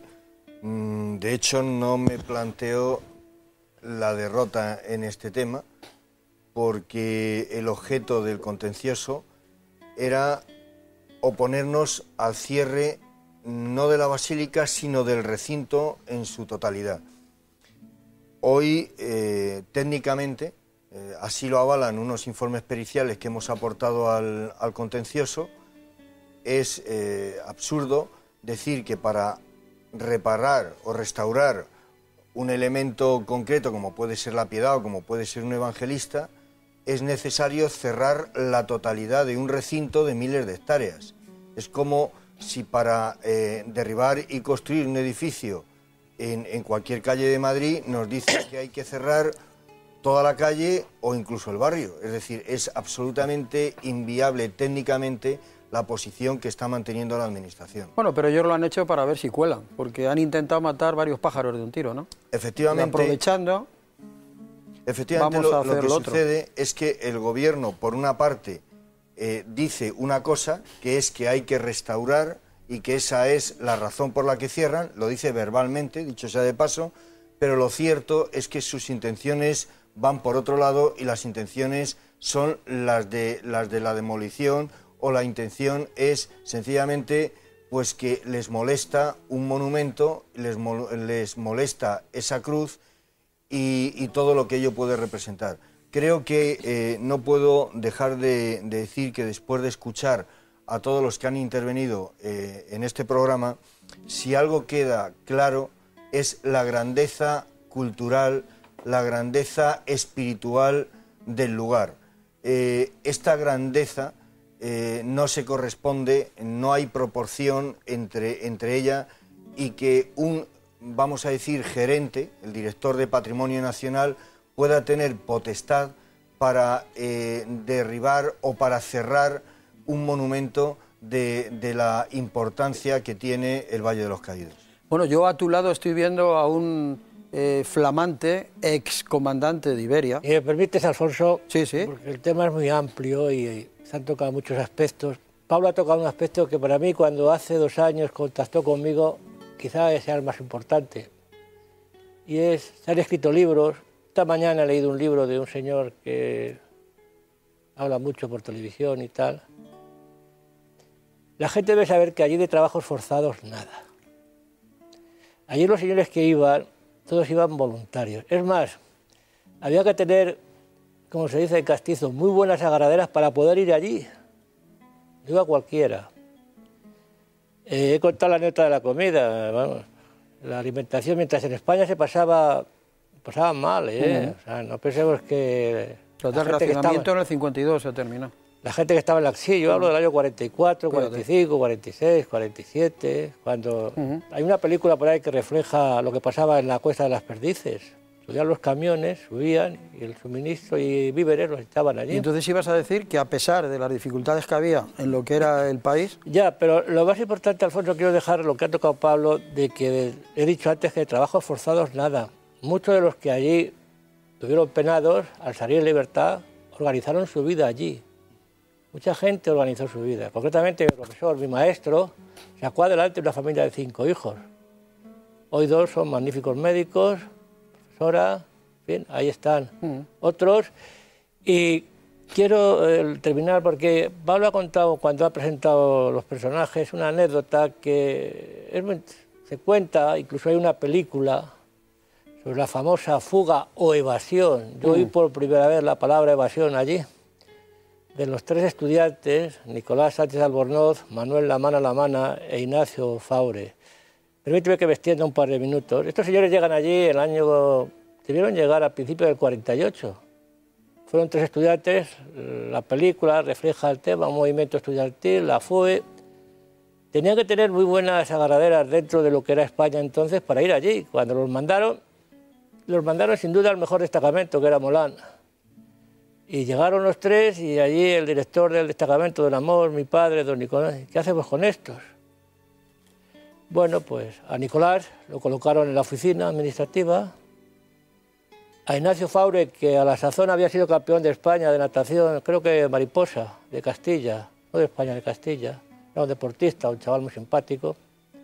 Dice, no, yo quiero trabajar, entonces pues lo colocaron en la carpintería.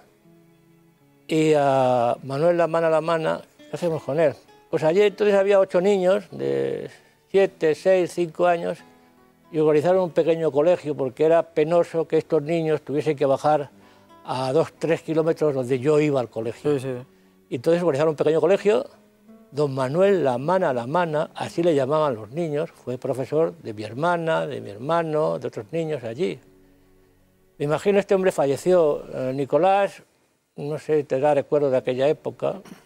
Todo funcionaba muy bien. Y he de decir una cosa que quizá la gente no lo sepa. Ha habido rumores de que si la, evasión, pues sí, sí, la evasión estaba organizada desde eh, altas distancias. ¿Cuáles? No lo sé. Pues mira, si me permites, me viene ahora a la memoria una anécdota que me han contado recientemente. Fue un invitado de España a la memoria, creo que muchos de ustedes recordarán al chofer de Franco. El chofer de Franco, en el programa que estábamos tocando el tema de los coches, los Rolls, el Mercedes de tres ejes, etcétera, y él mismo en el programa dijo que todos los sábados llevaba al general Franco a visitar eh, las obras, a hacer el seguimiento de las obras. Contó algo impresionante. Dijo que parece ser que mm, trabajadores eh, presos que estaban allí realizando sus trabajos en la obra del Valle de los Caídos, muchos estaban esperando la sentencia, su condena. Y hubo un capitán que le condenaron a muerte. Entonces Franco se enteró y organizó que el chofer con un ayudante suyo fueran al Valle de los Caídos, le recogieran y en el coche le llevaron a la frontera francesa y le dejaron en la frontera. Increíble. Seguimos hablando y yo, bueno, tengo que seguir haciendo el tour y yo, pues, padre, ¿qué podemos añadir? Pues ha salido también otros, otros temas, han salido unas imágenes también del Centro de Estudios Sociales, que fue una de las dimensiones en su día fundamentales del Valle de los Caídos. Hubo una dimensión espiritual, una dimensión de hermanamiento, llevando a cerca de 34.000 caídos de ambos bandos allí. Muy posiblemente la cifra se eleve hasta 60 o incluso 70.000 de ambos bandos. Y hubo una dimensión también temporal, que fue en gran medida también el centro de estudios sociales. Se era consciente de que buena parte de los orígenes de la guerra habían tenido una raíz de tipo económico-social, eh, diferencias hirientes entre ricos y pobres, injusticias sociales, de- desigualdades económicas, etc. Para evitar que una guerra así se volviera a producir, lo que se quería era que una guerra así no se volviera a producir diferente de lo que hoy estamos viviendo, de, de resucitar los odios, pues se quería que una guerra así no se volviera a producir, se quería estudiar la, realidad socioeconómica española para ir a las raíces que habían provocado aquellas tensiones sociales que habían estado en buena medida en los orígenes de la guerra. Tuvo un funcionamiento magnífico con toda una serie de mesas redondas, de reuniones a lo largo del año y fundamentalmente en verano, y toda una serie de publicaciones eh, de moral, social y económica eh, varios volúmenes de doctrina social de la Iglesia y otra serie de, publicaciones más, una revista de estudios sociales. Aquello funcionó hasta el año 80, 82, en que por motivaciones de tipo político pues, eh, se eliminaron las, eh, las iniciativas y mm, lamentablemente aquella obra, obra desapareció, lo cual no obsta a que la labor cultural en el Valle de los Caídos, como ha señalado don Pedro Cerracín, haya continuado con la labor de los monjes en la escolanía, con los cursos de canto gregoriano, con Escola Antigua, que son los antiguos escolanes que siguen, que siguen fomentando como un grupo de prestigio nacional e internacional el canto gregoriano, y con toda otra serie de, iniciativas más. La labor, la dimensión cultural del Valle de los Caídos. Tengo entendido que el cementerio privado de vosotros, de los monjes, es impresionante. Y hay quien ha llegado allí a visitarlo y se ha emocionado a tantos niveles que le ha producido eh, un cambio de vida radical, ¿no? Es cierto, yo conozco testimonios, es un lugar magnífico, eh, lejos de pensar todo lo tétrico que es, nos da la verdadera dimensión cristiana de la muerte. Es un lugar además eh, en un paraje natural magnífico. Es obra en gran medida de, de, la mente organizadora del padre primitivo, que es quien ha ido ideando toda una serie de, de simbolismos del de lugar. Esto es la Pustinia, es un, un como el desierto. ¿Y, en, y en ruso, total cuánto, ermita. qué número de, de seres humanos en total hay enterrados? En hay el- cifras, se en el cementerio del- En, en todo, en la suma total. Lo que es el cementerio de los monjes son eh, 13 monjes y 4 abades y algunos seglares. En lo que es el conjunto del Valle de los Caídos son eh, cerca de, según el registro, algo más de 33.700 caídos de uno y de otro bando. Contando José Antonio y el anterior jefe del Estado. Sí, eh, bueno, aparte de, bueno, José Antonio incluido como caídos. Eh, bueno, pero vamos, contando ya uno más, uno Muy menos. bien.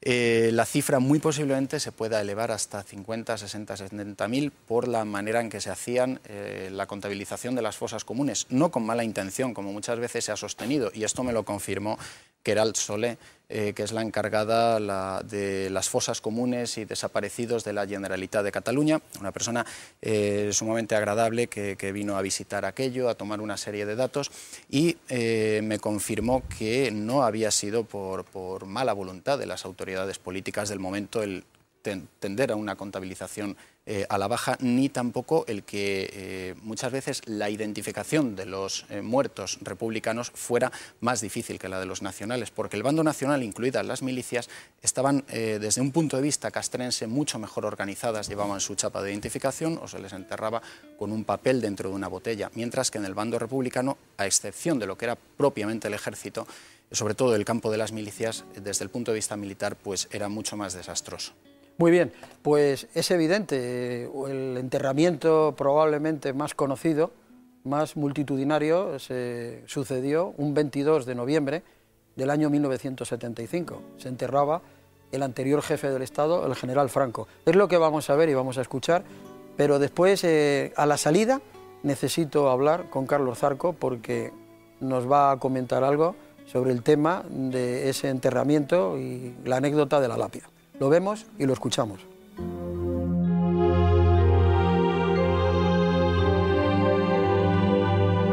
Unos le odiaban y le temían, y aun habiendo transcurrido tres décadas, hay quien le sigue odiando, y otros le querían y le respetaban. Y también hay quien le añora, pero para los que nos gusta la historia, simplemente es eso, historia. Y de aquel día frío de invierno, en el que los canteros de la Sierra de Guadarrama deslizaban esta losa de granito sobre rodillos de hierro y tapaban el lugar donde descansa el que fue el que dirigió los destinos de España cerca de 40 años. En esta lápida solamente rezan dos palabras, Francisco Franco. El día de la muerte de Franco estábamos viendo en mi casa en este televisor. Nosotros somos nueve personas, nueve gitanos. Y estábamos todos aquí viendo delante de este televisor. Y entonces en mi familia, unos se reían y otros lloraban. Y yo tenía 11 años y yo no entendía nada de eso, que, de qué venía la risa y que venía el llanto.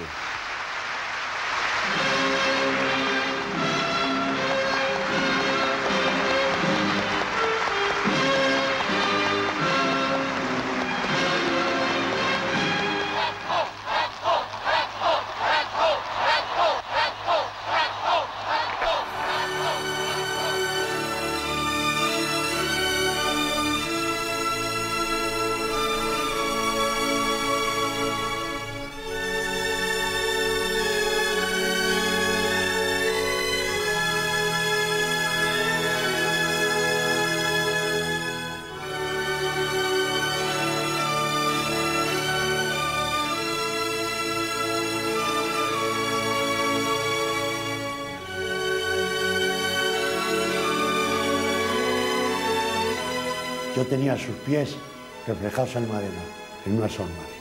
A mí no me hacía falta para nada, porque sus pies los tenía en madera.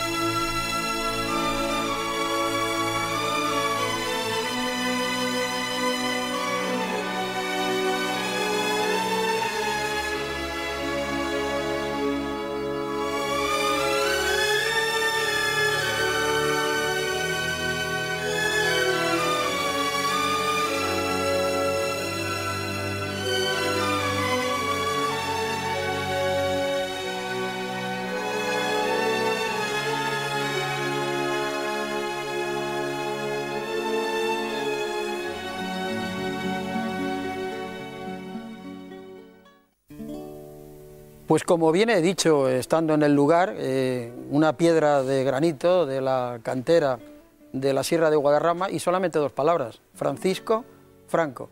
Pero a Zarco yo le preguntaría que dos palabras no, hay más palabras porque hay otra, otras palabras esculpidas por detrás de la losa, ¿no? Eh, eso nos lo ha explicado siempre muy bien en todas las conferencias Pablo. Y yo voy a contar porque él nos llevó a esa conclusión y dejó muy clara, ¿eh? pero para explicarlo yo, y en poquitas palabras, eh, la piedra, la losa es de prestado, no es la losa porque no sabíamos que Franco se iba a enterrar allí, por tanto no se preparó una losa para él, sino que se cogió la losa de prestado. Y la losa de prestado es la que en principio se había hecho para elegir entre las dos que se utilizaron para José Antonio. Esa, la que se utilizó para José Antonio definitivamente, y la otra que se había hecho. Entre ellas se eligió la primera y después la segunda se utilizó para la tumba de Francisco Franco. Por el otro lado, deberemos saber si pone José Antonio presente. Lo pone, lo pone y de hecho eh, yo llegué incluso a conocer a los hermanos Guillén, fueron alcaldes en diferentes épocas de Collado Mediano, propietarios del cine, un cine que yo iba a ver eso, a ver cine. E incluso creo que uno de los hermanos eh, fueron los que, deslizando por los rodillos de hierro, deslizaron esa losa de granito que por un lado pone Francisco Franco y por el otro lado José Antonio, no sé si José Antonio Primo de Rivera o José Antonio Presente, que es lo que está mirando al ataúd, ¿no? Efectivamente cargado de anécdotas. Pues bueno, eh, hasta aquí hemos llegado. El tiempo se termina, todo lo que tiene un principio tiene un final. Esperemos que pase exactamente lo mismo con la problemática del Valle de los Caídos, que ha tenido un principio, como don Juan Ábalos nos ha dicho, en 2008, y esperemos que muy pronto, pasado mañana, que cuando se termine eh, este documento audiovisual de televisión, los que están embutidos en el disparate reflexionen y den el cerrojazo al, disparate. Y yo tengo que agradecer a los cuatro invitados y cada uno tenéis, nada, unos segundos, podéis decir por el orden que os he ido presentando lo que os plazca. Por favor, tú. Bueno, quiero dejar eh, claro primero nuestro agradecimiento como Asociación para la Defensa del Valle de los Caídos, que aunque el valle se reabra y se tiene que reabrir sí o sí por una cuestión de lógica, la asociación va a seguir existiendo con tal de salir al paso de los mitos que antes decíamos sobre los presos políticos, muertos en la construcción, etcétera, y que lo iremos publicando todo en nuestra, perdóname la cuña publicitaria, www.elvalledeloscaídos.es. Pedro Cerracín. Pues eh, quisiera decir que espero que frente a la arbitrariedad del gobierno se imponga la justicia, la cultura y la paz benedictina que es deseable eh, que reine entre todos los españoles. Muy bien. Pues agradecerte tu llamada y dos cosas simplemente. Espero y deseo que pronto pueda yo recorrer aquello que fue formó parte de mi niñez. Y si me permites, hago un llamamiento a una persona que me encantaría ver muchísimo. Se llama Carmen García Lázare. No sé si vive, fue compañera de estudios y de verdad que me encantaría no irme de este mundo sin saber si vive, si no es ella, sus descendientes, a través de Intereconomía que intenten localizarme. Repito, Carmen García Lázare, su padre era Antonio García, encargado de San Román. Gracias, Alfonso, por esta llamada. Don Santiago Cantera. Pues muchas gracias por todo. Y desde los casi 15 siglos de historia y tradición benedictina, el mensaje final que quisiera transmitir es el mismo lema que tienen los monjes cartujos y nosotros al pie de la cruz lo meditamos y lo vivimos. Stat crux dum volvitur orbis. La cruz permanece mientras el mundo da vueltas, mientras el mundo cambia. Cristo permanece. Y gracias a ti por la labor que estás haciendo por el futuro de España, que son esos niños. Pues eh, Gracias. a ellos de un modo especial les quiero dedicar mi presencia aquí también. Don Fernando de la Sota. Pues yo por último decir que la situación del Valle de los Caídos se debe a tres causas. El rencor de la izquierda, de los grupos radicales de izquierda, fundamentalmente los nacionalistas. Por otro lado, la postura cobarde y acomplejada de un sector de la derecha importante que teme perder una serie de, de posibilidades electorales o posibilidades profesionales. Y por último, los silencios sonoros y estruendosos de aquellos que, aquellas instituciones que deberían tener algún gesto en defensa de lo que significa el Valle de los Caídos. Don Juan Manuel Cabezas. Bien, sí, yo quiero decir que la Iglesia, a través de el abad, entonces monasterio de Silos, porque no existía todavía el del Valle de los Caídos, recibió un, un encargo el 24, el 29 de mayo del 58 por un convenio con la Fundación de la Santa Cruz del Valle de los Caídos de atender espiritualmente un lugar de culto, un cementerio, y que ahí está el padre abad y toda la comunidad, pues cumpliendo ese encargo, porque además era un, algo muy bueno desde el punto de vista humano, la reconciliación de los españoles bajo la cruz. Y no se puede renunciar a eso por una ideología, digamos, eh, que quiere, que quiere cambiar la historia, que quiere luchar contra la cruz, contra Cristo, que la odia. Don Carlos Zarco. Bien, fundamentalmente, por último, pues resaltar las pérdidas económicas que está produciendo el, valle de- la- el cierre del Valle de los Caídos en toda la zona de la Sierra Madrileña.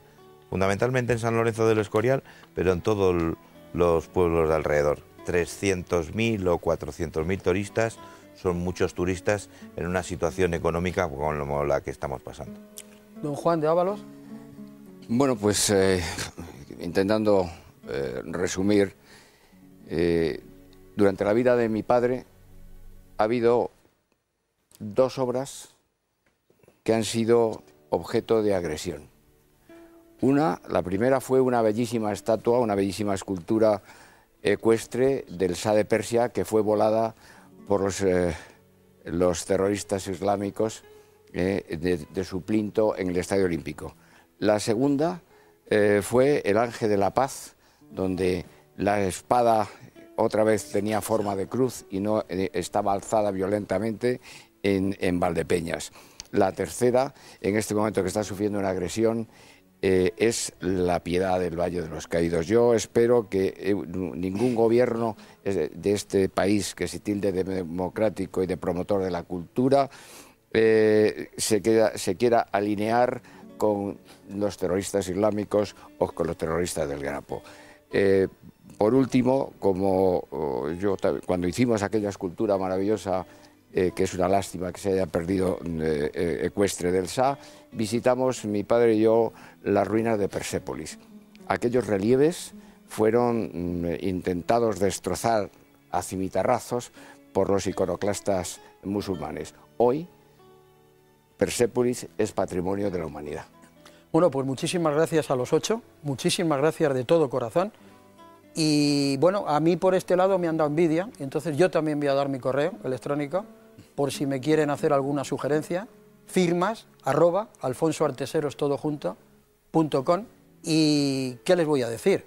Que les quiero mucho, pero antes tengo que dar las gracias. Y voy a dar las gracias de todo corazón a Patrimonio Nacional y al Ministerio del Interior, porque sin eh, la autorización de ellos yo nunca jamás hubiera podido grabar, rodar dentro del Valle de los Caídos, a pie de tumba, por ejemplo, del general Franco. Muchas gracias, Patrimonio Nacional, muchas gracias, Ministerio del Interior.